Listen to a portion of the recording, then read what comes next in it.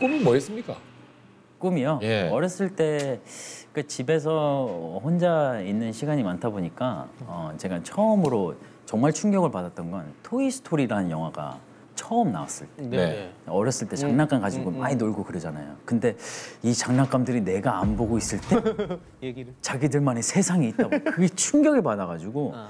그 픽사에 들어가서 애니메이션 디자이너가 되는 게 꿈이었어요. 오. 그래서 나중에 컴퓨터 그래픽과로 갔는데 정작 저는 되게 활발한 성격인데 수업을 듣다 보니까 뭐 앉아서 계속 막 포도 알 그리고 있고 사과 바나나 이것만 네 시간 동안 계속 그리고 있는데 막 몸이 간지럽고 막 이러잖아요. 그렇지. 그래서 아 이거는 제가 이제 항상 제 제 10년 뒤나 5년 뒤 모습을 항상 상상해 보거든요. 이미지를 그려 보는데 그려지지가 않는 거예요, 이게.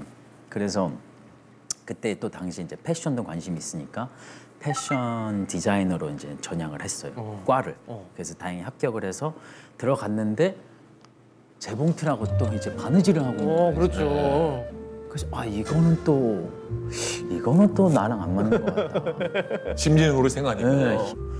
그래서 아 그러면은 패션 바이어가 돼야 되겠다. 어.